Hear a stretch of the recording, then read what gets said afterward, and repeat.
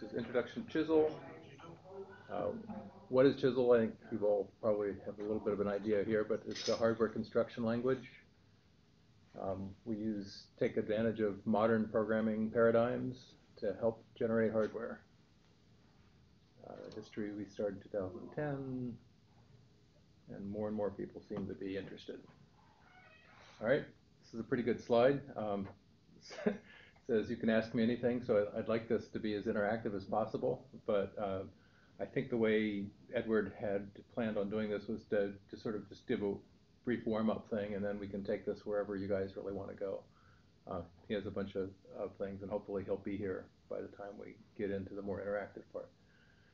So um, actually, my name is Chick Markley. I'm a staff at the Adept Lab. I am Chisel support, so I people have problems with Chisel, they call in, and I try to help, or they don't call in, you know, Stack Overflow questions and issues and things like that. I'm one of the people who tries to solve those things. Um, so that being said, I don't actually program in Chisel very much at all. I don't use Chisel to build circuits. I more try to figure out what the problems are with other people. And I'm part of the development team, so new features that are being added to Chisel, that's stuff that I work on all the time. Um, best way to learn Chisel. Um, I, I think where we are with our boot camp, I don't know if any of you have tried that, but I think that's, um, we are getting better and better at presenting and uh, figuring out the right mix of how to train on Scala and how to train on Chisel itself. So I would highly recommend if you haven't started with that, you, you do that, and I think it's a good reference for a lot of good practices. Um, once you've gotten past that, you really probably will not be programming very much in a Jupyter notebook. Uh, it's, a, it's a great way to get started, but it isn't really the way it works. Um, so typically, you will start from a template of some sort, and these are two of the more common ones. There's also a more rocket-based one, uh, which in my slide in the next section, I, or in, in, the next session, I will have a thing for that. But there is a, a thing called a project template also, which is yes. So if you just wanted to start with uh, Rocket, or even um, one of these, what's kind of a minimum requirements? How big a laptop? How much RAM? I, you know, yeah, I, I would say 16 gigs is probably what you need to get going with with Rocket. Um, I think most of the people who develop that actually are using uh, bigger servers, servers, and then and then you know tunneling through to the servers and working from there. I don't work on Rocket. Um, uh, Ed, Edward uh, does, so he may have some better references but that's a yeah, it's a pretty big project and it links in a bunch of stuff. So, um, well, on the other hand, if you're just using VI or Emacs added, I, I don't think that you know the development overhead isn't particularly high, but it's, it is a it's a pretty big thing to build depending yeah. on the, the configuration that you're using. Um, just a couple slides about where the documentation is. Um, we are continuing to work on this. It's uh, you know not I would say the not the best part of Chisel. Um, but I think as we've emphasized before too, we would welcome any help. So if you're ever using the documentation, you find anything wrong with it, please just shoot us something and uh, someone will, uh, will make it better. Okay, debugging resources. Uh, the website has the standard list of things. Uh, Chisel's user group is a good place to ask questions. There's also a chat room in Gitter if anyone uses that. Um, I think it's kind of getting to be sort of like uh, if you own a restaurant and you have uh, you have DoorDash and Caviar, and you know I've seen these places where they have five things and they're trying to manage all that. But it really doesn't matter. Use one of these. I, I think Stack Overflow. I really encourage people to use that as a primary. Like I tried this and it didn't work you know, filing an issue for that, it's probably not a problem with the software. It's probably just uh, something with our documentation, or there's just a, you know, a quick answer, and the Stack Overflow is better for that. If you think that you have an actual bug in Chisel, then it's that's an, that should be an issue. That should get filed. Um, generally, you start with Chisel 3 issues, but sometimes people will say, oh, that really is a FIRRTL problem, you know, so there's a little bit of winding that way through, but we'll usually take care of all that stuff. Um, we recommend a test-driven development model. That is, you when you write when you're building something, you think about how it's supposed to work, and as you build it, you write a series of tests that test that it's there. I, I think in the hardcore version, you you actually write the test first. It will fail because nothing implements it yet, and then you try to build your stuff to meet the test. Uh, this is an example on the screen here of using the, uh, of how the chisel testers and uh, works. So this is the peek poke model that was described yesterday. Uh, this is a, a, fine slide. I'm not sure what he's trying to convey. Um, it's more sophisticated. It's not just a lumpy cake. Yeah, I, I, yeah, I get. Well, I think, I, I guess that's it. I think HDL you actually build the cake in some other environment, and then something translates that cake, uh, you know, to, to make another one, or whereas in hardware construction languages, so chisel on the right, I think this is the, the good side of the slide. This is a, it's just a process. It's a better way of describing what it is that you want done, and so you should get a better cake, and also you should be able to make more cakes after that. So give a man a fish thing. Uh, so why EDSL? EDSL is embedded uh, domain-specific language. That is, Chisel is a, is a language, but it's in embedded in the Scala language. Gives you full access to all the capabilities of Scala, which is uh, a, a, very modern, uh, rich, uh, I think very useful language in a lot of different ways. Uh, Chisel and RISC-V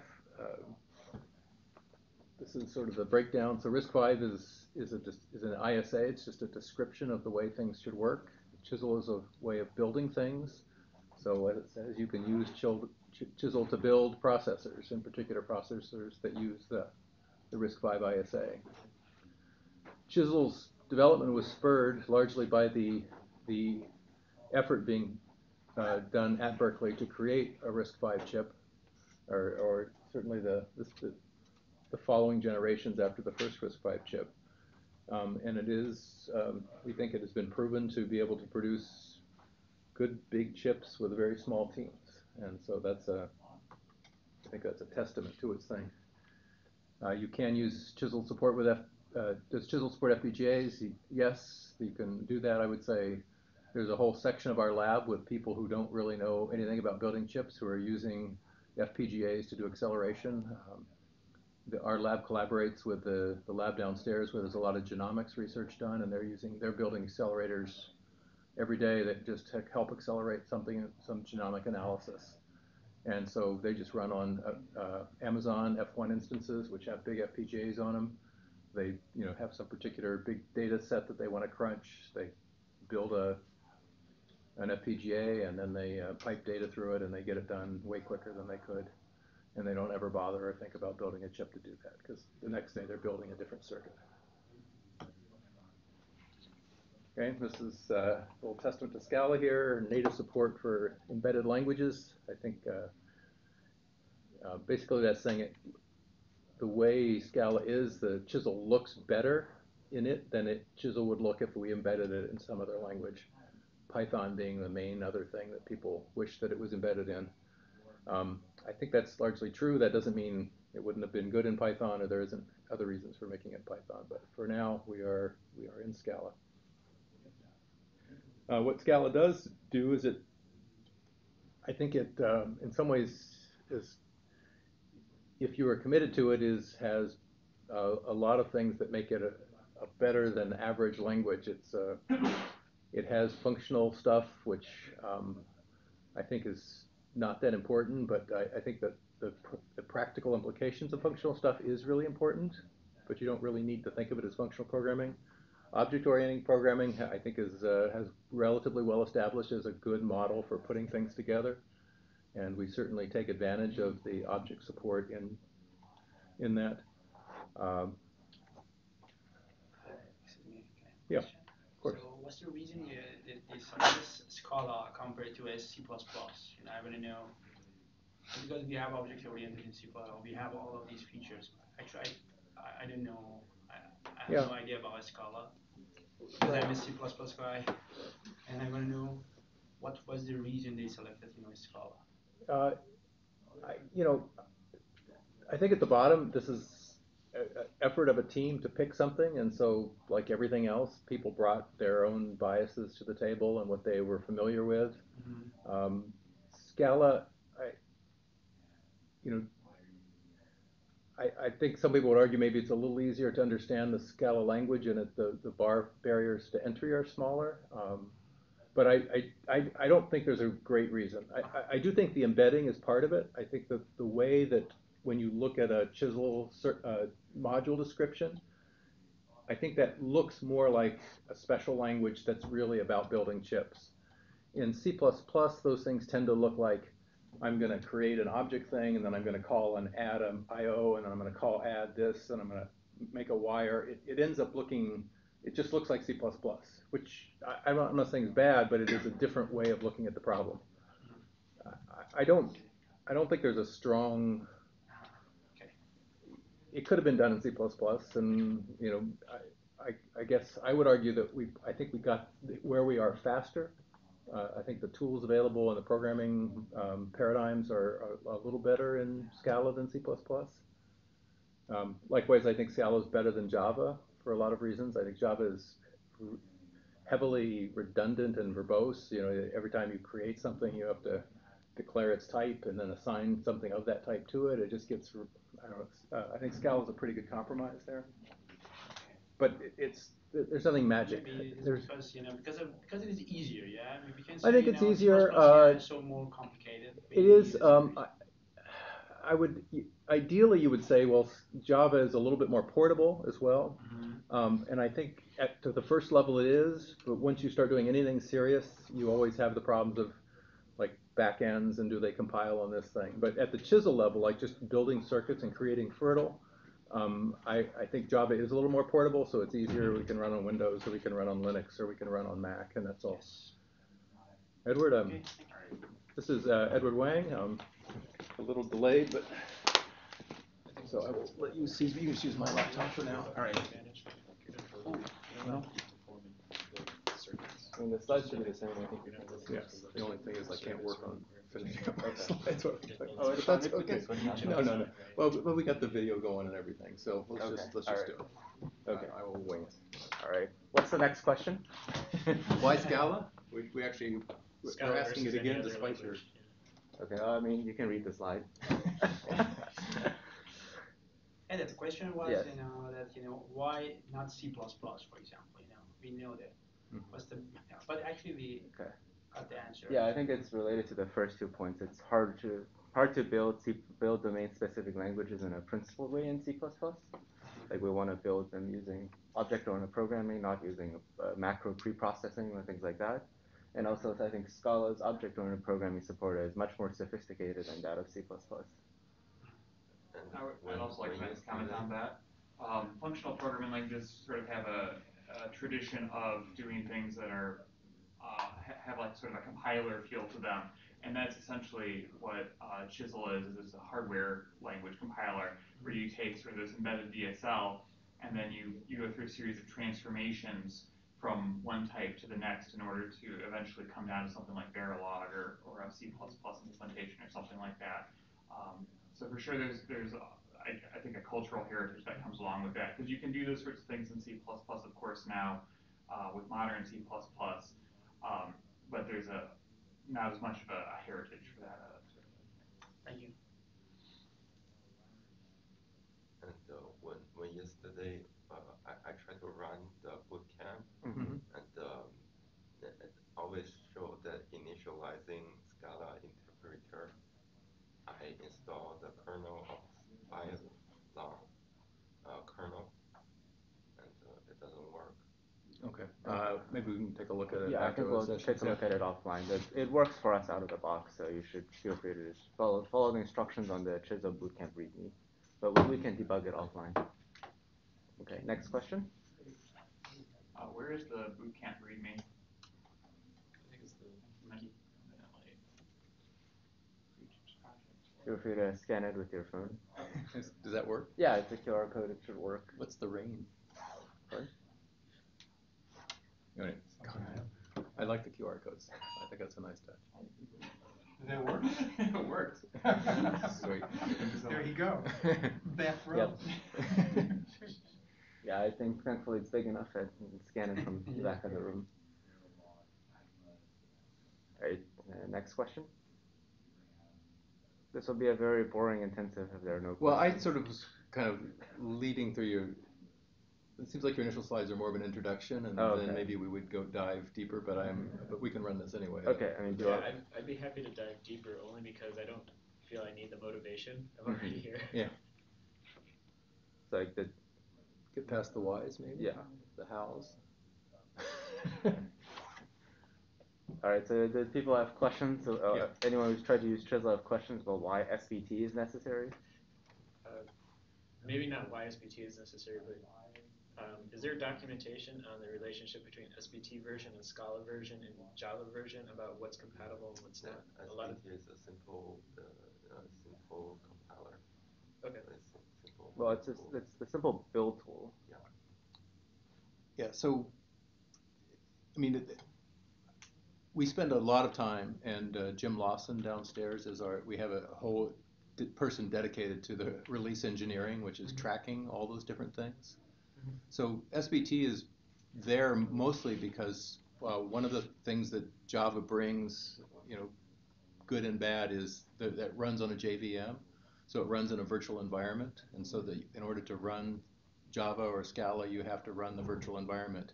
So SBT is largely concerned with bringing that environment up in a in a way that's configured the way that you want and making sure that everything matches and that the libraries you wish that you had are provided. I mean, and just to add to that, theoretically, you could call the Scala C like the command line Scala compiler directly, but then you're responsible for downloading like the chisel jars and all of its dependencies.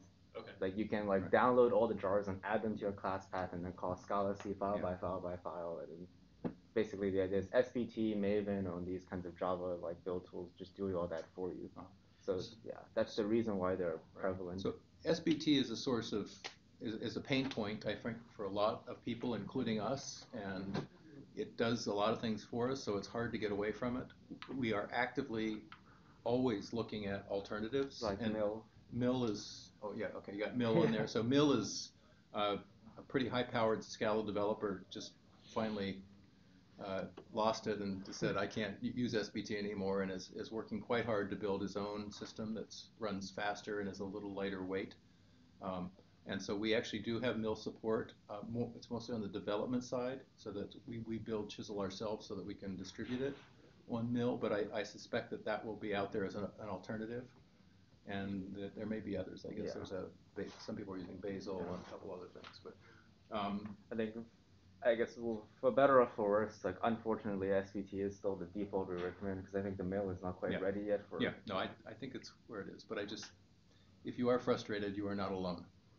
And we are, we doing everything we can to make that better. Seems like you have some questions. No, no, I was just uh, I was curious. I, there were times when it wasn't clear which Scala version I was supposed to use, like which version of the language and Right. Okay. which Well, one matches. one- And that's not for you guys Yeah. necessarily. That's the larger community where I have to find that. Right, it well. should be that if you're using the, the standard release stuff, everything should be correct. Yeah. Okay. Uh, where we get into problems is if, uh, you know, it's hard not to, particularly if you're, you're starting and you want to use more exotic features to, if you use the, the master versions of, of the projects, those things kind of go in and out of sync sometimes as, as we change things and it takes uh, a little bit of time, which Jim is on as best he can Mm. be to uh, ripple through so that everything is consistent. I think But- ge- generally, if, like, if I'm starting a Chisel project, I'll usually use one of these templates, and usually I copy the build.sbt file, and that includes like a correct version of the Scala version and a correct SBT version. Usually that's enough. Like for example, if you're if you're trying to write your own build.sbt, there's like a little trickery with regards to Scala 2.12 and Chisel. Yeah. But if you're using the default template, that includes all the compatibility fl- compatibility flags out of the box. Cool. So just if you use the templates, then you don't have to worry about writing the build.sbt, which simplifies a lot. Yes. One small suggestion I have for a slide like this, Mhm. probably not a good idea to put two QR codes on there at once. Why does it not know which one to scan? I it scanned one, I don't know which one I got. I can't, I can't select which one I, I want. All right. Thankfully, they're both valid. so they'll, they'll both get you to a chisel template. But yeah, we'll try to disambiguate it a bit more.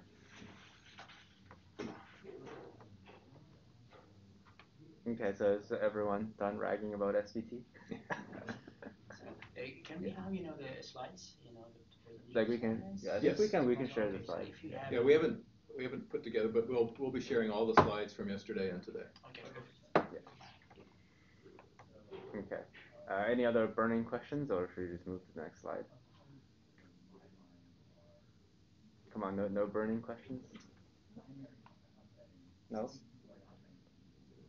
It'll, it'll only get worse. Uh, Yes, yes. sure. I actually kind of want. Um, Alright, for, yes. For Scala console, um, to what degree would you say that you can play around with the chisel stuff? Like, I just want to try something without going through a full chisel compile process or build process, but Mm-hmm. I just want to see if like what I'm going to do is going to get what I want.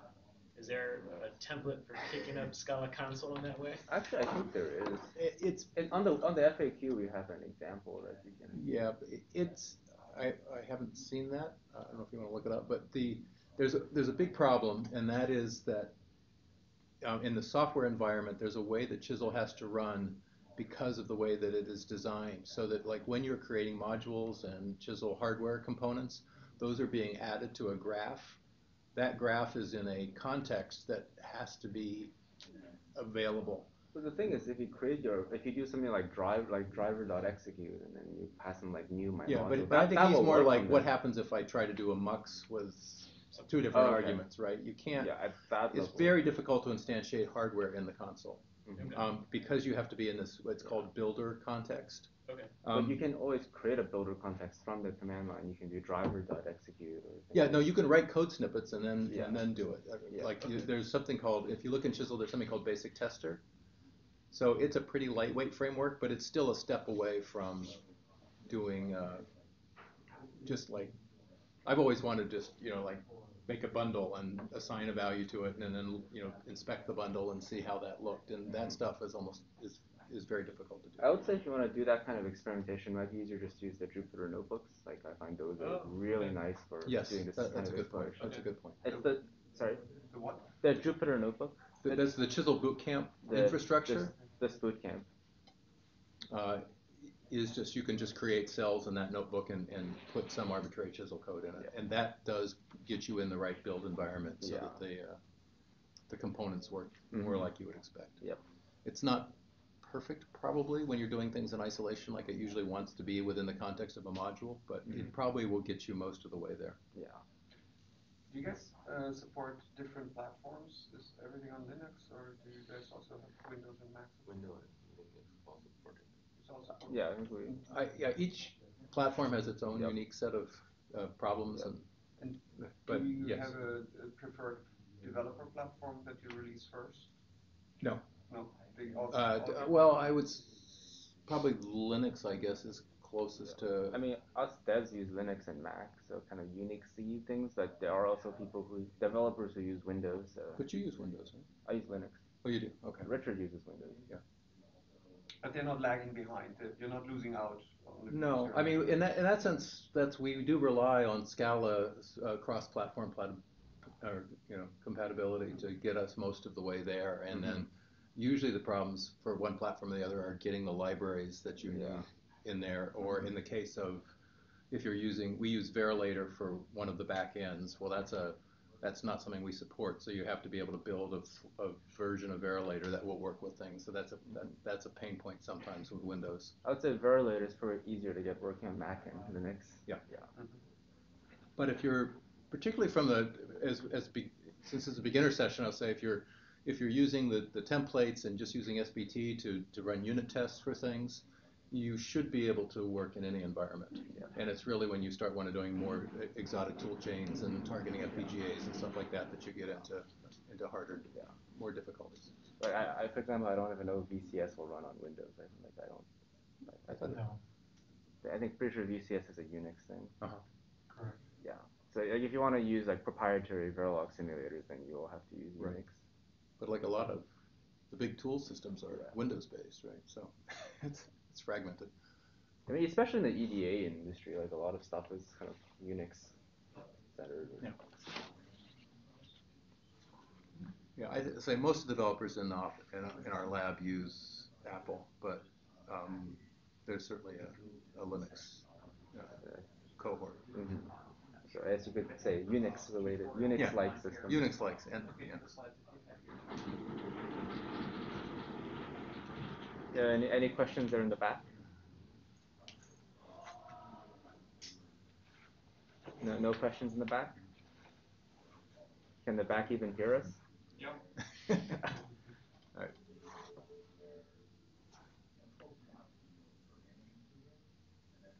All right.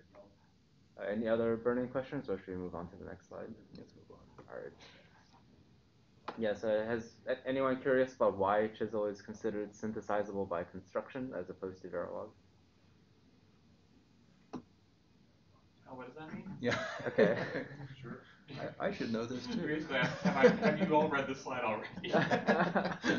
so basically, like if you Verilog was originally designed as a simulation language, so it's what's it's basically you're you're describing the behavior or you're describing a model of the circuit, not the circuit itself. And so synthesizable Verilog, which is a subset of Verilog itself, was developed after it became widespread. So that's this is kind of it kind of explains why it's very easy to do things like inadvertently create latches and other weird kinds of hardware in Verilog. In contrast, when you're writing when you're running a chisel program, you're kind of explicitly building the circuit itself. So instead of like trying to infer from the behavioral description what is the circuit, you just write the circuit itself. So therefore, it's guaranteed to be synthesizable. Whereas when you're doing development in Verilog, you always have to double check that you're not creating latches. You have to make sure you're writing synthesizable stuff. And also you, things like un- unsynthesizable constructs like delay statements, initial statements, all those things like Chisel does away with because we're not trying to model hardware, we're trying to build the hardware itself. So, because you mentioned delays, is there a mm-hmm. way to do something like a clock block so that you could say, just to make simulation waveform mm-hmm. viewing easier, for example? So I guess you're saying, is there like a, like, can you use other clocks? Not just other clocks. So you uh, wanna mux out a clock from a section of code? Uh, sort of more along the lines of, I think in System Verilog, you can do something called a clock block that you could, anything that, any clock that is part of that clock block can basically insert a delayed assignment for the purpose of simulation. So you're like, you're inserting a fake delay on the waveform just to view the assignments after the positive clock. Yeah, clocking blocks, no, I don't think Chisel has any concept of a clocking block. Okay. Yeah. It's Chis- really yeah. not a procedural language like System Verilog is. I mean, uh, yeah, it's not procedural like System Okay. Verilog, it's much more declarative. Okay. It doesn't uh, assume anything about an edge or a delay. Okay. Yeah. It sounds like if, if we were gonna support that, that would probably be some sort of annotation that Or- would get passed down. Or something in like the tester. Yeah. Because that, I think that's more of like a testing sort of simulation construct, whereas the core chisel is about synthesi- synthesis of building hardware. Yeah, I know, just that with the, in Verilog life, I have to think about that as I, the synthesizable Verilog. Yeah. Yeah, so w- one benefit of writing chisels that you don't have to constantly think about uh, uh, is is what I write going to be synthesizable. You can, as long as you're not importing exotic things, you're pretty much guaranteed that your block is going to be synthesizable in RTL. All right. Okay, so pop quiz. How many of you know the difference between chisel and system C? Is chisel the same thing as system C? Okay, is like chisel the same as like Vivado HLS?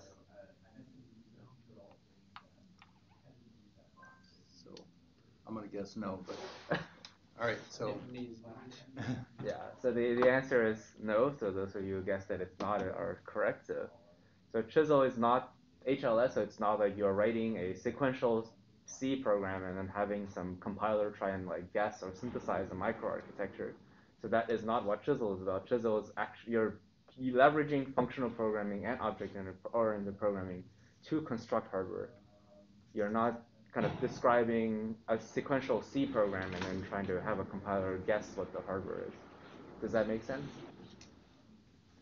So you can think about when you run a chisel program, you imagine like the computer is like drawing all these pieces of hardware, muxes, AND gates, OR gates, registers, all these things. Your the compiler is drawing these drawing this circuit.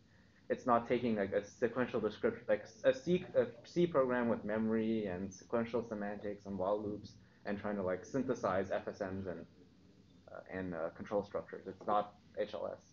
So this also the plus side of that is that it means chisel is a zero cost abstraction, so there is no performance penalty to using chisel. Anything, any hardware, high performance hardware you can write in Verilog, you can also write in chisel, but more productively. So So I don't know if uh, the simulation performance we have something later in there, but I'd, I'd like to explore that a little bit because uh, when you're thinking of large system Verilog models, Mhm. um, the modeling style, uh, if you bit blast things, uh, plays a huge role in your simulation performance. Mhm. Um, do we have any control over how Chisel translates into Verilog um, and uh, influence the simulation performance of large models? hmm I mean, usually I think we've found that the default chisel generated Verilog has pretty good performance, and people in the lab use it with VCS and other high performance simulators, and it works just fine. Yeah. Yeah.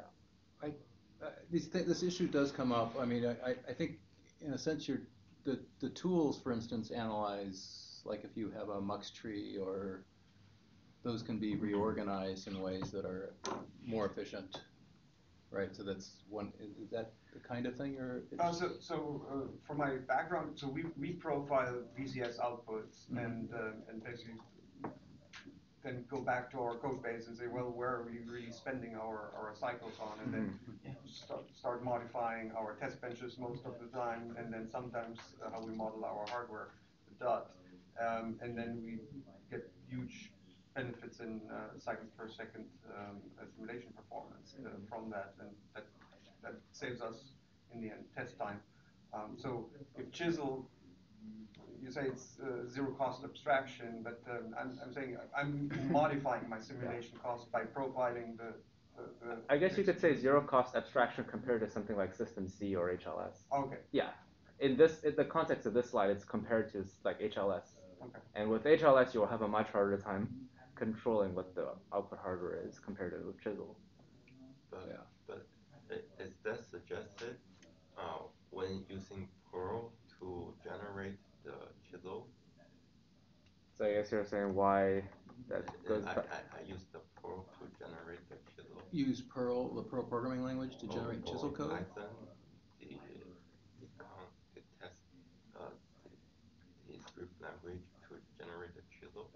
So I think if you're if you're using these kinds of ad hoc scripting languages, so that kind of asks the question of what what is Chisel good for? Because obviously you can just use other you can write random scripts to build hardware, and so the idea is Chisel provides you with this principal foundation. You have access to these static. You have access to type safety, object-oriented programming, and functional programming. Whereas if you write like Perl or sed scripts, you have access to none of those, and it's very easy to make a mistake and have it crash in VCS. Whereas if you're building it in Chisel and you're trying to construct something illegal, it can often catch that up front. Right. So that's one benefit Yeah. of using a principled language instead of just ad Right. hoc scripts. Yeah, I, th- yeah, I think in general, people usually write chisel and chisel, although we looked at that one project where someone was using, uh, the, the, what's the Delite follow-up, the Stanford? Spatial. Spatial, Mhm. right. But that's, to your question, I, I think chisel generates relatively consistent code from the chisel description that you've given it. So that when, when it comes to optimization or that simulation runs long, you would look at the chisel to say, you know, we could reorganize this in some way and maybe make, you know, get different. QOR. Um, the other thing is if you're using like pre-processing to generate Chisel, you can probably do that directly using Scala itself. Let's say if you have a Perl script that is snip, stamping out copies of a piece of Chisel code, you can probably just use a for loop in Scala to replicate that. So basically, like I think because Scala is a very powerful general purpose programming language, often like whatever parameterization that you need to do can be done in Scala itself. So there's generally no need to use pre-processing. Right. Because Are the reasons not, you don't want to. I have a question, you know, um, in, in Ver- Verilog or System Verilog, we have UCF flags to determine all of the timing constraints, Mhm. the our, you know, uh, you know, uh, critical path, you know, Mhm. circuit. How do you know, as I, as I know right now, right now, I think we cannot do this in the chisel code, right? Mm. So I mean, UCF But isn't part of Verilog itself either. Yeah, I- I- UCF is also separate from Verilog. Yeah, actually, I mean, you know, if, if we have the generated, you know, code, Verilog code, hmm it is readable to be able to, you know, add UCF files where, you know, uh, can I see, you know, all of my, you know, top level, you know, inputs and outputs and all of the submodules, Mhm. inputs and outputs. I can do this or not? Yes. So yeah, Chis- like the Chisel does generate some like a lot of internal nodes, but the IOs of the module will be generally You know, preserved. all of the submodules, right? Yes. Like basically like IOs that you name will be preserved. I, I think Ah, Chisel will okay, always they- they that. pre- preserve. Yeah. Well, I think the question is, you know in Verilog, you can instantiate a mux or, uh, or, or a flop by the construct you use in Verilog. It's known how it maps to synthesis. So if you want a certain structure in the end, there's certain Verilog you can choose to do it. And the and the question is, can I do that in Chisel? But the answer would be, should you? Is it really, do you really wanna take that low level of abstraction up to a higher level language like Chisel in the first place? So you have to trust that chisel is gonna synthesize in a way that meets your timing or meets your area or meets your power. And that's Uh, where it breaks, cause we don't really know. I think And I don't you, think you can. so from my experience of working with FPGA tools and UCF, I think those are things where you can specify, like map the IOs to like a, for example, pin on the FPGA board and things like that, right? UCF will let you do those kinds of mapping. So I think he's getting, I believe he's getting more of like, let's say if I, I'm building a, a design and Chisel that I want to put on the FPGA and I want to map this input to that switch, that output to that And LED. also, we, no, and, no, and no. and also we specify the, you know, the, you know, the tolerable delay for a Mhm. specific path. So, for example, you wanna have the, your clock with, you know, a specific frequency. hmm So the delay for this clock shouldn't be, you know, you know, longer than, you know, Okay, more like- than a specific Like delay. specifying constraints for the Yeah, clock. how can I trust Chisel, you know, that I will have, you know, that Yeah. the circuit will meet my requirements? Right, I, so this is definitely both an issue and th- something that people do, so, um, it's also, I think, outside the scope of the beginning context. I, I don't, I, I think up through general simulation that we do is Mhm. in unit testing, you probably are not gonna hit this stuff, this is more when you're synthesizing. So one thing I should say is like Chisel is not a logic synthesis tool. So Chisel, when you're writing hardware in Chisel, you're building it at the same level of abstraction as RTL. So Chisel is not a logic synthesis tool. It's not like Yosys or Right. But, Vivado. but if our name is, you know, the input and output name is, will be preserved, so we can. Yes, the input and use output names will be preserved. So, uh, Right. Yes. it will work. I know the DSP folks have to throw in timing registers, all, you know, just to Yeah. make things all come up with this, Yeah, at the if we IOs at the same our time. name, so we can do Yeah. the. Right, so they put some doesn't extra ones in there, and then Yeah. the synthesis, the synthesis tools move those Yeah. around to the right spot, so Yeah. that everything, Mhm. yeah, th- I, th- that's outside my area of expertise. I know, I mean, uh, the people who worked on the DSP, Paul, who was downstairs, who presented, and Angie, who was, well, I was no, they, they do this stuff all the time, so there's, there's definitely mechanisms for it. I, I usually wouldn't hit it at the unit te- test level, which I, I would just say they're like kind of orthogonal concerns, like UCF and stuff like that is more like kind of logic synthesis and physical design, Yeah. whereas Chisel is more logic design. They're obviously related, but kind of orthogonal Right. concerns. but- What good is Chisel if you can't get the gates? Really? What good is it? Well, I mean, you- well, you it, it generates it generates Verilog, which you can pass through with Vivado or DC or Genus and get the gates. Agreed, but it has to meet timing, area, and power. I mean, so does Verilog, right? In Verilog, we have a clear path to do it. Yes, Chisel, it's a mystery. I mean, we can do the same thing in Chisel. Everything you can do in Verilog, and with regard to the logic construction that you can do in Verilog, we Well, can you do can't Chisel. say it's just the language that describes RTL, because it, that's not its purpose. You ultimately wanna get it into a chip. Yeah, so Otherwise, why bother? Uh, You could- that's- you that's true, do but- Constraints but- around just a module, uh, right? Like, yeah. That's just. So these are, there are different ways of managing the constraints, and that, I, I think that, I mean, if you were to tr- try to measure this stuff, you would look at how long, you know, what, does Chisel give you a, a leg up in getting that, that circuit built and tested and running the way that you would like? And then when you hit the synthesis, there are additional things that one must do to, to close timing and do all these other sorts of things.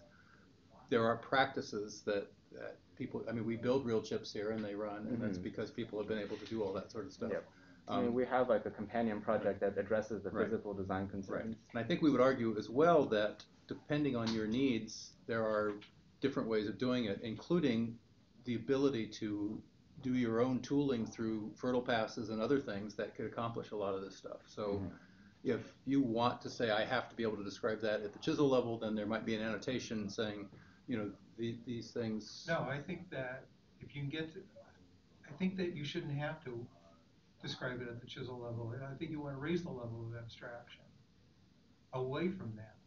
But you have to find out, can FIRRTL do it, or can you get, to you know, there's gotta be a place that Right, where but- those but factors are, are Right, but if you have critical paths, you might, you know, maybe what you might need to do is identify them, right? You might want to make an annotation saying these two things have to be at something, Yeah, and then you would write a FIRRTL path that would make that would guarantee that would would or analyze that that FIRRTL code and say, oh, we need to throw in a couple registers here because things are not flowing through it the same.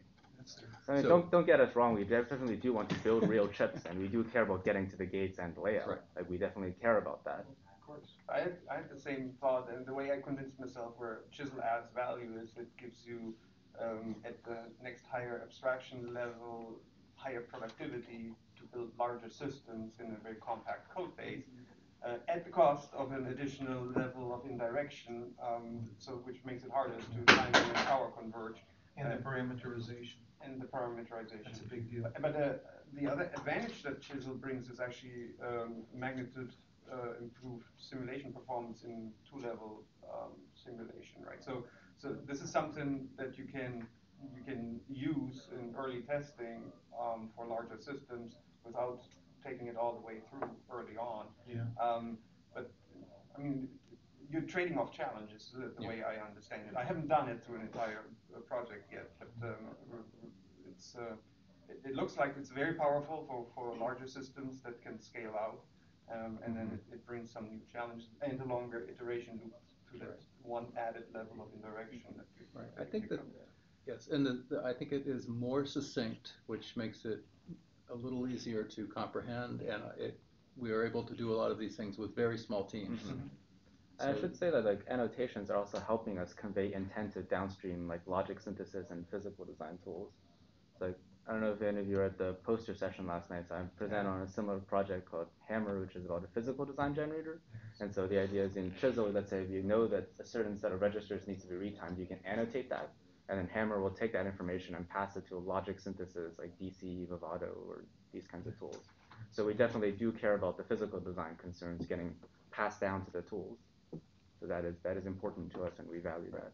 So you- you're taking an annotation all the way down to like place and route? Yeah, we can take an Blocking? yeah we can take an annotation from the chisel level, pass it through FIRRTL, and eventually can go through like Synopsys or Cadence or And you can do the same for like clocking constraints as well? Yeah. Okay. Alright, so do you feel like we've addressed the concern, or Yes. okay? I have a dumb question. Uh, I think there was a question at the back, but then we can get to it. Uh, Does it support uh, asynchronous design clockwise? So what do you mean by that? That's probably related to my dumb question. too. Like But looking at your example, I, I mean, when I code Verilog, I control when things happen and then what happens. But looking at your code snippets of Chisel, there's no description of when things happen. So Ch- Chisel's main description is basically like Chisel addresses synchronous digital logic. So basically the idea is a module in Chisel, I mean, two, the default module has an implicit clock and reset. There are ways to do multi-clock and multi-reset designs. So basically like you have registers and then you assign values to registers. At the next positive edge, the value of that register gets transferred to the output. So it always assumes a regist, you know, single clock phase register sort of design So that's the paradigm. It's, That's the that's, the, default. that's the default, but you know, we have statements like with clock and reset where you can have, let's say, within a single module, have registers clocked off of different clocks. We support that as well. You can invert clocks and You can invert clocks and have negative edge trigger clocks and all kinds of things. So by the way, when, when we're doing multi-clock and chisel, like the clocks don't have to be aligned at all. They, they could be out of phase. They could be completely asynchronous with respect to each other. But in like a single block, you can't have things happening on the front, on the, on the leading and trailing edges of the clock. You just pick one for that block. Yeah, so like by default it uses the positive edge, but chisel pro- like if as a designer you want to customize it, we provide the provide an option. right, and the granularity of Yeah. those blocks is is under your control. So if Yeah. you say this little piece within this other thing needs to be working, you know, off this edge of this clock, then you can set that up. So then for his question, it goes to clockless. Can you design logic without a clock? I mean, you can you can describe combinational logic in Chisel. I mean, we support that. I mean, that's the Yeah. default too. Yeah, the- Uh, Yeah, we, we, we also support clockless designs. You can have a clock with the module with no clock inputs. That is also supported.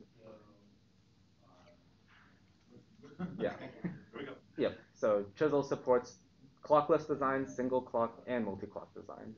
Right. How about latches? Uh, so they're not a native construct, but we can import them using a black box, and then we can use them like any other Chisel module. So we also support latch-based designs in that sense. It's the same way that we support asynchronous reset. So basically, Chisel has a mechanism called black box where you can import kind of arbitrary Snippets of snippets Verilog. of Verilog.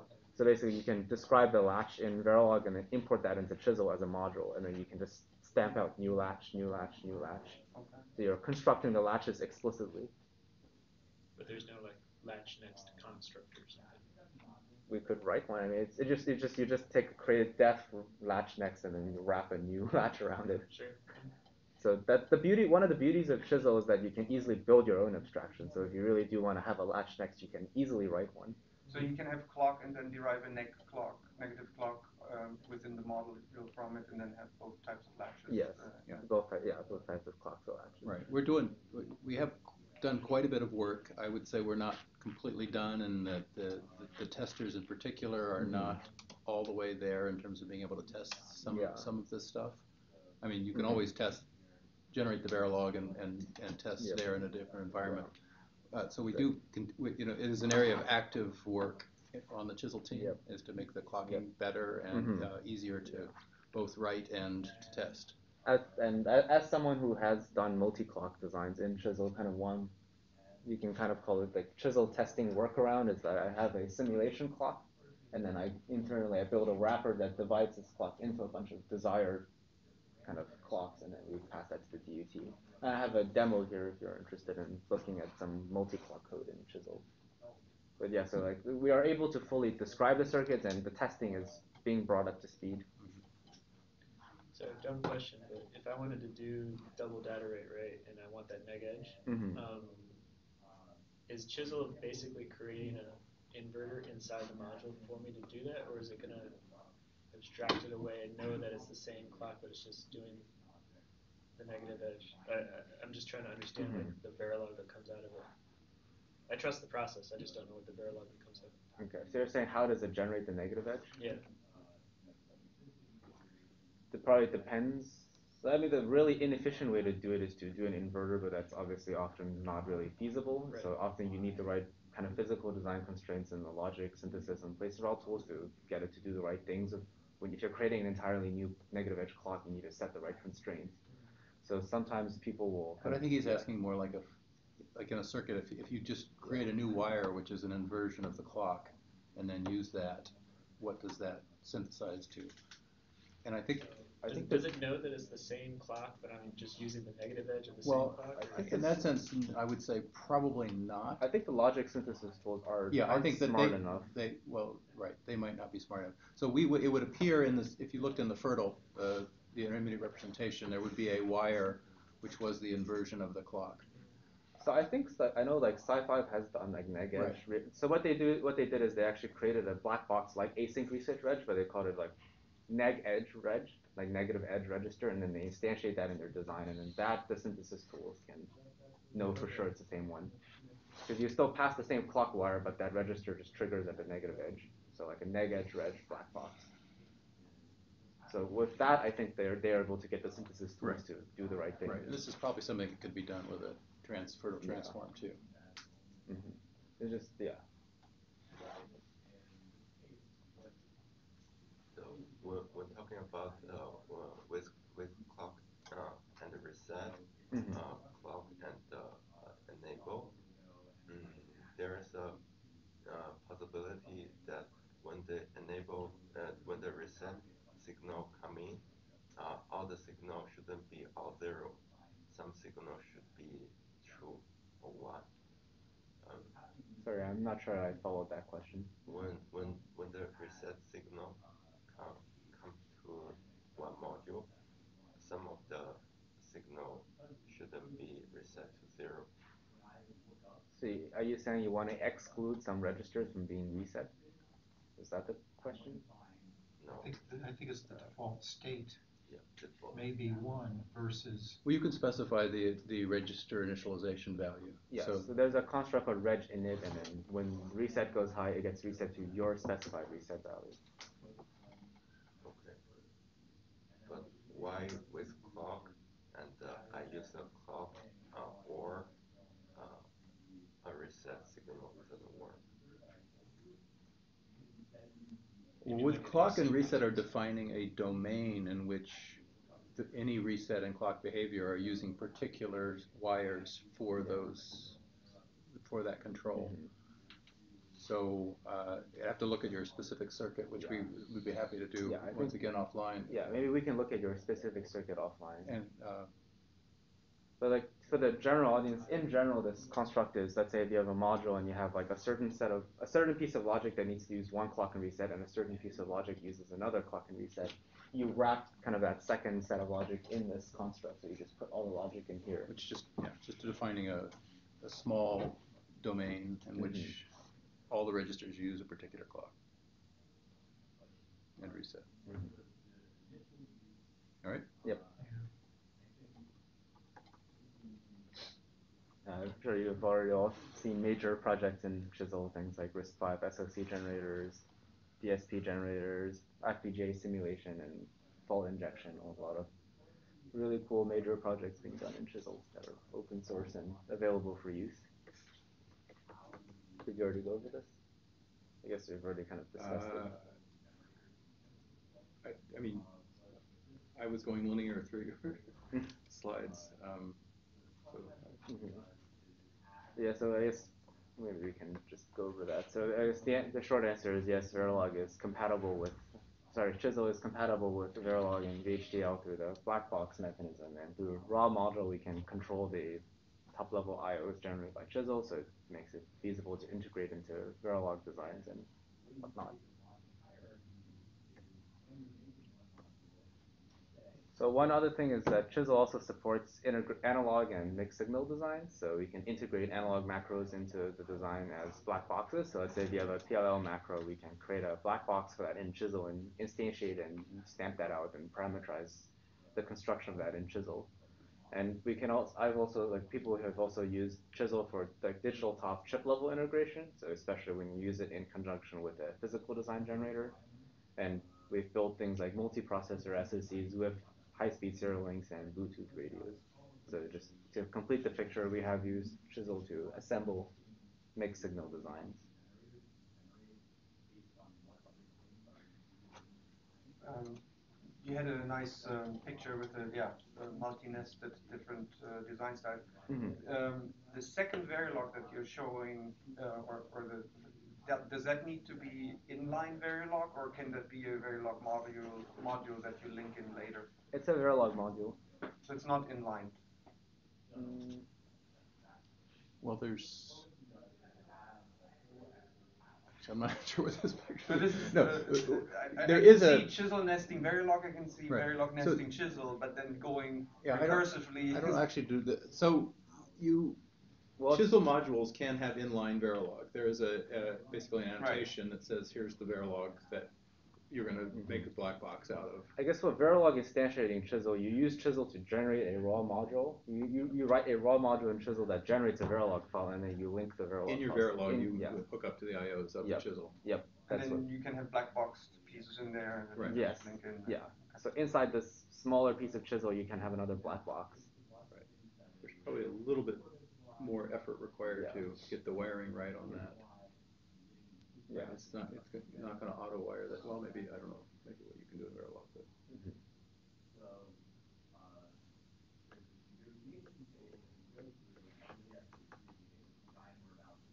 Any other particularly burning questions?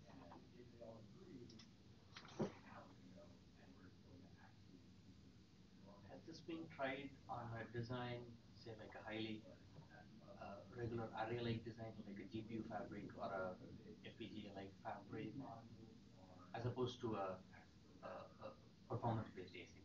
Mhm. Or do you have plans? I guess as the as the question that have we have we built like highly regular fabrics like GPUs or FPGAs using chisel. So I, I don't think. Well, we built very large vector units. Yeah, very yeah very large vector units are highly regular. Okay, uh, I, and uh, DSP you know, within our group, well, DS, I, I wouldn't, I don't know, this is F, the FFT sort of a regular. Yeah. Um, I do know that uh, at UCSD, for instance, they built a, as part of the craft program, they built a chip that had I think 700 uh, very simplified rocket cores on it, which is probably kind of like that. Mm-hmm. Um, like very. I, I, I, don't think I, I, I think Chisel is ideal for the situation though. The ability to iterate over, you know, one and two dimensional spaces yep. or three dimensional spaces for mm-hmm. that matter, and and generate regular grids of yep. hardware are exactly what Chisel is designed to do. And uh, mm-hmm. in my in the next session, I'll try to get into that a little bit more. But I, but I I think that, you know I think the vector units are probably one of the better examples we have. The, this uh, UCSD chip, uh, I can't remember, it was Michael Taylor who did that as part of the craft project.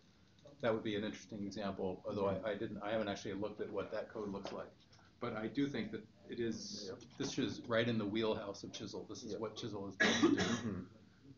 so it's a, very easy to you know build an M by M grid. It's for a, a, few lines to do that in Chisel. Yeah. And then, of, of course, what's the appropriate physical design annotations to pass into the backend tools. Mm-hmm. Does that kind of answer the question? Or? I built a Conway's Life game in Chisel. That's a that was very easy and it was uh, it's highly regular, right?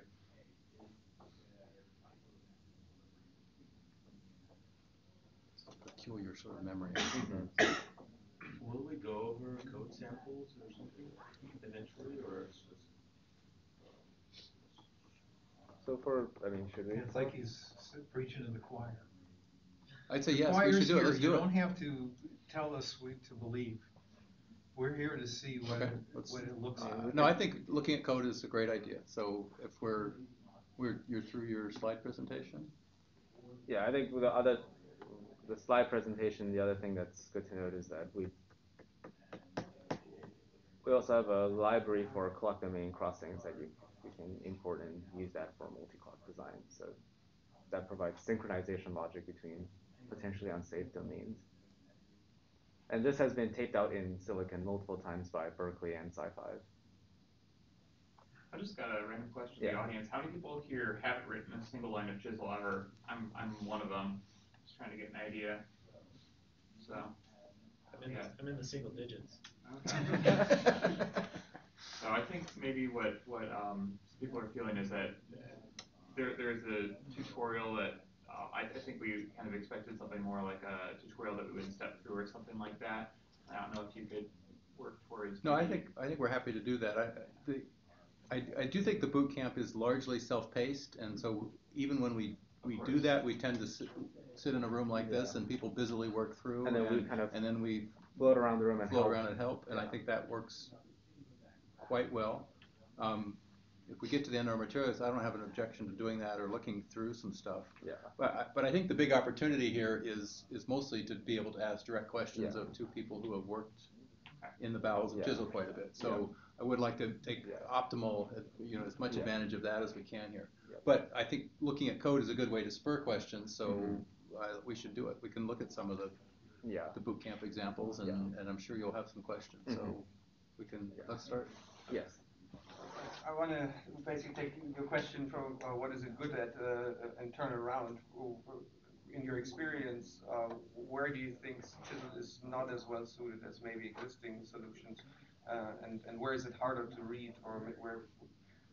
So, so that, that that is one thing because then mm-hmm. maybe that would guide which pieces of my design I would keep maybe modeling in Verilog that or System Verilog that I understand already. Um, and then the, the other question, independently, so, sort of, yesterday in one of the presentations, or I think Google was uh, saying that, uh, well, the, the, it's a very powerful approach and, and not very powerful, but I don't want to give that power to every, each and every designer on my team. So uh, I, I want to basically restrict them voluntarily to um, the safe constructs um, that are uh, intuitive to use. Um, so you having had lots of uh, interactions with first-time users and intermediate users, um, which are the constructs that uh, people are struggling with, especially if they don't have a Scala background? I It's a think good- most people don't have Scala background. Yeah. I tried coding Scala Chisel. It's not the most convenient ever because of Scala. Uh, but you get used to it. Yeah, Like, there are Scala introduces examples. a, is a, is a bar. Um, Yeah, the, the Google's an, uh, talks an interesting case. I think they, they've done a lot with it. Um, they basically forked two years ago and, you know, they did a bunch of things and at, during that same time, They- what? Oh, yeah, I was gonna say like they mm-hmm. forked like over two mm-hmm. years ago on an old version of Chisel where like we at Berkeley had made Right. significant. And actually, for the first then. year, there was quite a bit of interaction where we were trying to keep up and have some agreements of sort of, you know, the problems that we were doing. I, I don't know. It, it's kind of hard to answer that. I, I think it's a good question. Is like if, if you have some junior engineer, is there a way of telling them what to avoid or what, or some limiting what they can do in Chisel? And I don't. I'm not sure that. I'm not sure there's an answer to that question, other than you should, I, which is, it will be in the next session here, is I, code review is really a big deal, and I think because the code, I would argue for the most part in Chisel is more readable, it's more doable to do that code review. So, you know, if you don't want people to use certain things, you should just look over their code and make sure they don't. I think the other, I'm gonna, in, in addition to Chick's excellent answer, I'm gonna approach the question from a different angle and say it's kind of one set of skills is required to write hardware and another set of skills is required to build a library. So I think there is kind of a, a, a bit of a difference between this amount of skill required to write a new library versus the amount of skills required to use a library. I think that is kind of an important distinction. Like, for example, I, like in one of the as we had an SOC design class at Berkeley, and we were able to get, for example, a whole bunch of undergrads and new master students to learn Chisel within a few weeks and build like productive designs in within like half or one semester. So in terms if you're just using libraries or using Chisel, then it's definitely very easy to learn and pick up. But if you want to write something like diplomacy or Rocket Chip or DSP tools, I think that is like you really have to know Scala to write DSP tools. But to use DSP tools, you don't have to be as skilled as the DSP tools developers. Mm-hmm. So I think there's a critical distinction there. Do you want to use a library or do you want to make a whole new library? Because that is a whole new set of skills and requires more advanced Scala knowledge. So maybe that's kind of the complementary view of looking at skills required to use Chisel. So it depends on do you want to use abstractions or build new abstractions? Right, and I think, yeah. So the other, the other area probably where this is, is the, um, one of the big, we think selling points of Chisel is the, the generation, the, the code generation and the parameterization. So if, you- if you sat down for some very small module and wrote the lines of Chisel and wrote the Verilog, they might be, seem very comparable. It wouldn't take a whole lot more. But with, with not too much more addition in the, in the chisel side, you could add that and make that block you have, you know, usable in different situations with multiple Yeah. IOs or different widths on everything, and you can generate a whole bunch of different stuff. Mhm. So I, I would say with the junior engineers, you would probably not have them generating highly parameterized code that makes many different instances, but instead would say, you know, we just need a block that does that. And they, they could have done that in Verilog, and it would be roughly the same amount of work. But it should be should be pretty much as easy, the same Mhm. amount of effort at, in Chisel. And I think building on top of that as well, like the idea is, let's say, imagine if know, out of my organization, I have some engineers who've read written some highly parameterized code. The other engineers can leverage that code easily and adapt it for different modules. Like you saw in the TPU talk, they between five different instances of the TPU, they shared 60% of the code. So imagine like the more advanced engineers might write the kind of the shared code in common, and the other engineers can take that and easily parameterize it and reuse it for different instances. Hmm. So that is also the barrier to using an inst- a generator is much lower than the barrier to writing a fully advanced generator. So that there's also kind of an, another angle to think about it. I have another dumb question. Yes. Um, when you look at high-level languages, um, Python does a pretty good job of running anywhere, but Java, which was designed to run anywhere, failed at doing that. And well, now you have something that's, you know, sort of, I've been hearing is targeted at simulators, at FPGAs, at you know ASIC hardware and stuff. And the FPGAs are all different environments too. How is it doing at at running everywhere? I mean, you have to take it into account specifically, or is it doing a pretty transparent job, or how's that going? So, is, so just to check if we've understood your question correctly, you're, you're asking how does chisel generated RTL run on map to different platforms? Is that the question? Yeah. yeah. Okay. Uh, so I think there's kind of two ways to approach that. One way is that it's true that let's say if you have a set of RTL, if you're mapping it to FPGAs, you need to use like BRAMs, block RAMs, and things like that. If you're mapping it to ASIC, you need to use SRAMs, and that's one example where like the underlying technology is different. So I think the real answer here is I'm going to quickly jump back to the slides. So we stole this idea of a compiler from software. So just like in software, you have all these different projects that need to compile to all these different platforms. In hardware, we have projects like Boom, Rocket, Hwacha, and all these different projects that map to ASIC, FPGA, etc. Right? And as I mentioned, one example is memories are different on FPGAs and ASICs. So the idea is in Chisel, you kind of describe your memory at a higher level. You just write, uh, right, you can abstractly write a mem, and then we have a FIRRTL compiler pass that maps it to either like BRAMs or ASIC SRAMs. So that's one example of how the FIRRTL compiler enables your RTL to run on different platforms. Is because is we that, can. Is that some special argument we passed to FIRRTL and build as? Like, I'm just curious how you do that. Oh, like the actual mechanism? Yeah. So there's a. I don't. There's an annotation, right? Yeah. What? Yeah. The, the canonical way would be you pass an annotation to that memory, and then so at some point. To be block RAM. So I think the way that we like actually do it is that we have a FIRRTL like basically we generate the FIRRTL file and then we read it in and run a specialized memory transform pass. That memory transform sucks out the generic memory and then sticks in like a set of ASIC memories. And then we pass that off to downstream ASIC tools. You can replace SRAMs with BRAMs with FPGA. Okay. Yeah. So we basically we have a pass that like FIRRTL goes in, it goes in, sucks out the memories and sticks in the technology map stuff. And you can imagine doing this for other technology dependencies. I mean, the reason why I'm asking is because I'm curious is that I work with FPGAs, and Mhm. there are times when I'm not sure if it's inferring the use of a register in the block RAM tile Mhm. or it's putting it into the fabric nearby, and Mhm. that can make a difference. Yeah, we can talk offline about this as well because I, I, I, like I'm one of the developers who works on like the ASIC memory pass, and we probably it's not that difficult to extend that to F, FPGA and whatnot. So we can talk about that offline about the concrete details needed to get that done. Okay. Yeah. But the short answer is yes, we have FIRRTL technology mapping passes that enable portability. I think check that. Yes. Yeah. No, I, I agree with that. I, I would just say that's I don't know how much that was your question versus the sort of the Java JVM thing, which I Well, you don't have to solve Java. but, but that's that's basically the question, right? You're targeting different types of.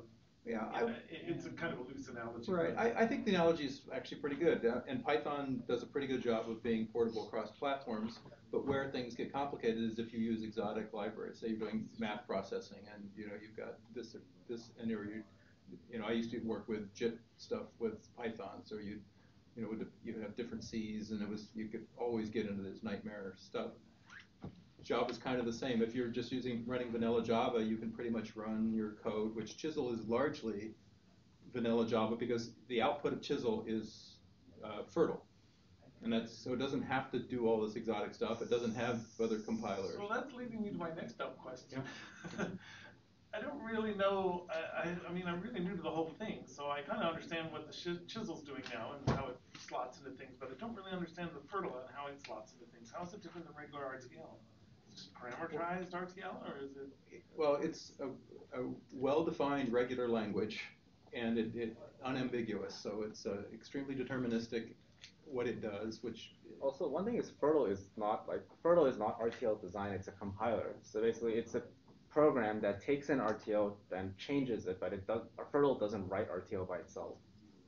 That's well, it it, it can emit it, things. it emits. But I guess my point is like GCC doesn't write your code for you, right? Like GCC takes in your code and spits out code. GCC doesn't write code.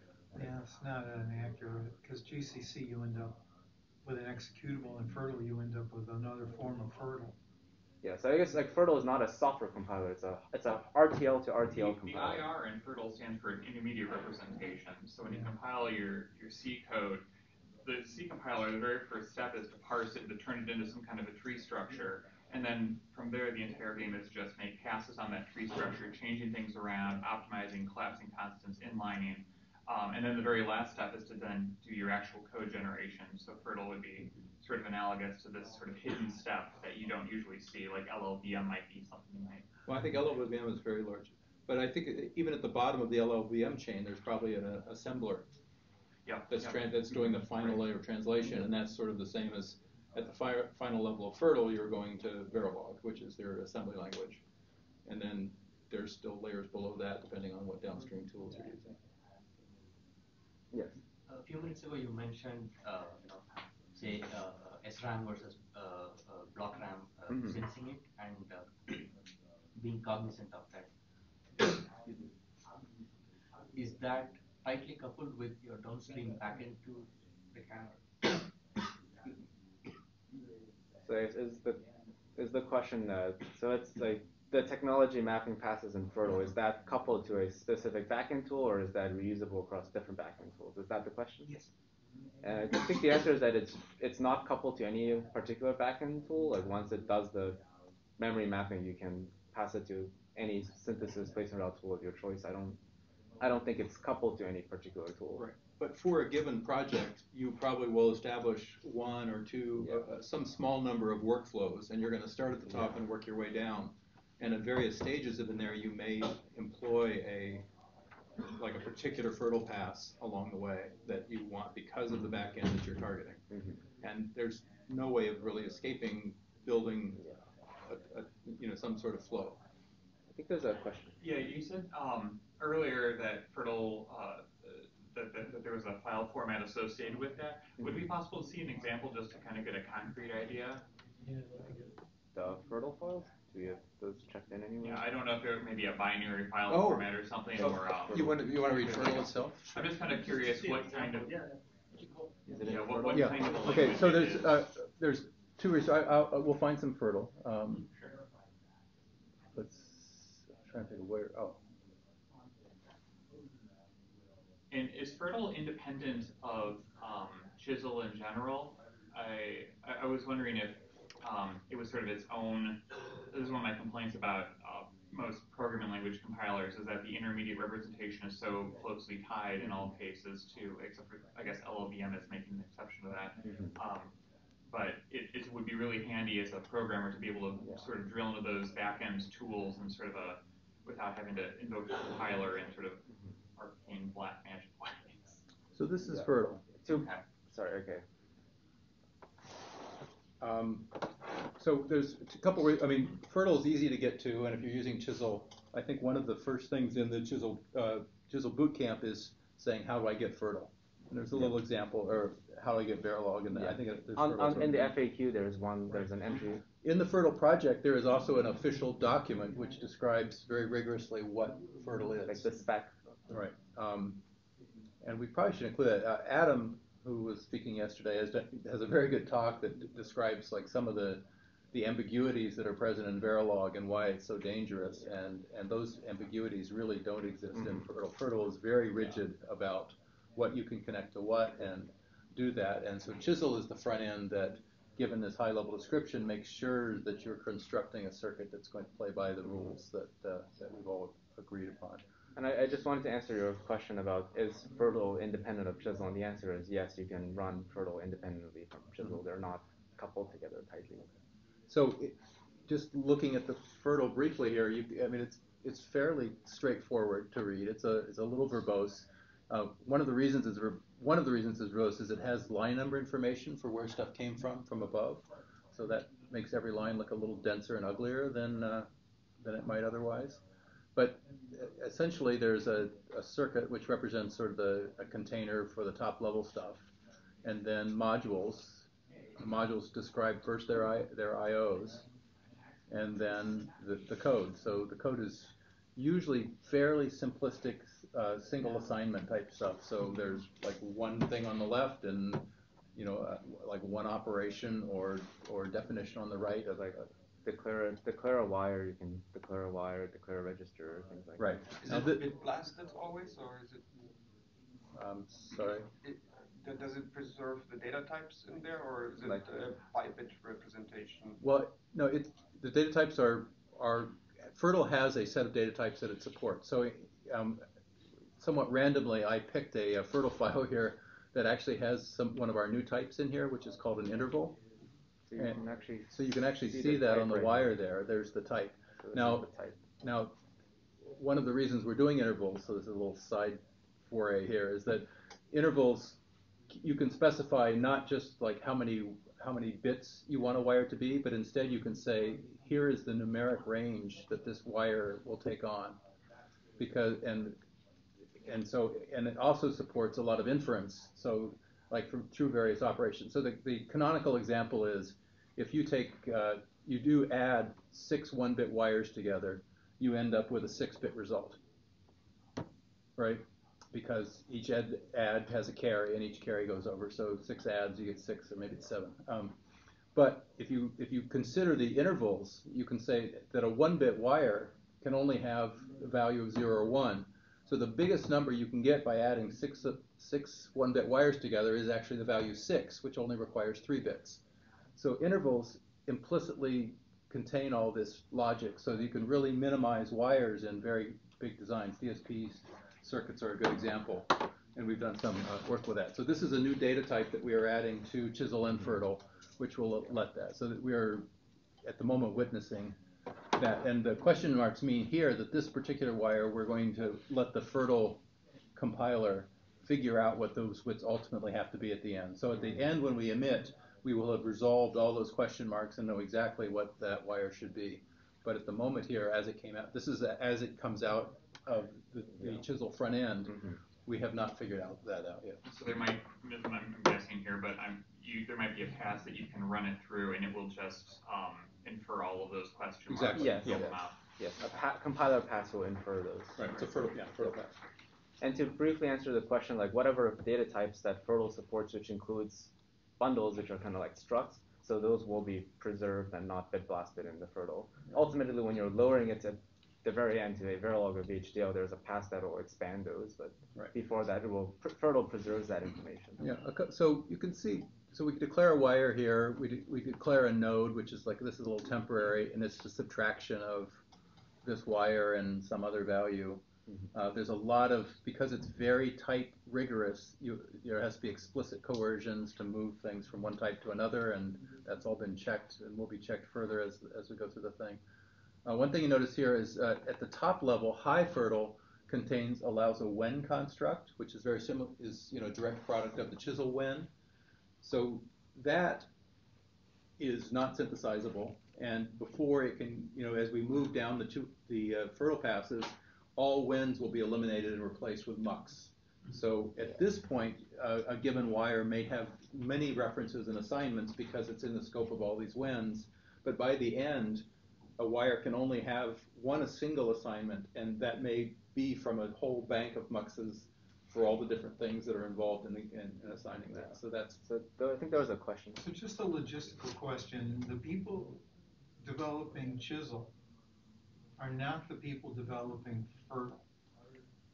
There is, there's a fair amount of overlap. I think it's like a Venn diagram. Yeah. Yeah. it is, Yeah. yeah. I mean, I work on I work on both. Uh, I don't know if you've done this much FIRRTL, but uh, because, I've done. done because I, s- I see posts about Chisel updates and posts about FIRRTL updates separately. Right. Uh, I think that's, well, I mean, they're two distinct re- repositories, and they are, they are different. I mean, FIRRTL is, is a, a compi- it's really a compiler environment. Yeah, Uh, you, you do passes, you do transformations that you want to have certain guarantees as to what the product of those transformations is. That is, that is a, a intellectual discipline of its own. On the chisel side, most of our development is concerned with um, you know ease of representation, uh, you know expressibility of certain types of Mhm. functions that people want, um, and yeah, it's it's pretty different. You know, and it, the main goal is to get FIRRTL out of there that we can then chew on. but broadly speaking, if you take Chisel three dot two, you better get FIRRTL four dot five or Yeah, whatever. that there's there is versioning. Yeah, there, there's versioning, and we make sure they work together. Right, and that's why we have a, a person dedicated to just that job, that's uh, Jim Lawson. And Actually, like, I think one of what Jen's helps helping to set up is let's say we PR a change to FIRRTL, we don't want it to break Chisel, so we have continuous integration that always makes sure that they both work together. So we have, yeah, Jenkins. Yeah. How exciting.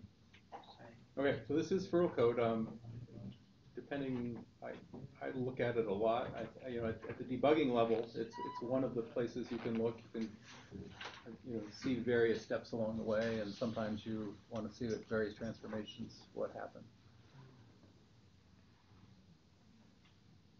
So do you wanna pick a piece of chisel, or do you wanna do, look at some of, maybe some interesting, Yeah, I think we're out of time. do we have a break in between, is that how it works? Yeah, there's a break. Everybody else already started. Sorry? Everybody else already started the break. All right, well. Okay, yeah, we should. I think a lot of you are- are coming right back, we might as well go on a break, take a little break, and, uh, and then, Yeah. the main difference is that uh, Edward and I are gonna switch chairs. Yep. And we, we'll share the slides as well, so you can have access. to them. Thank you.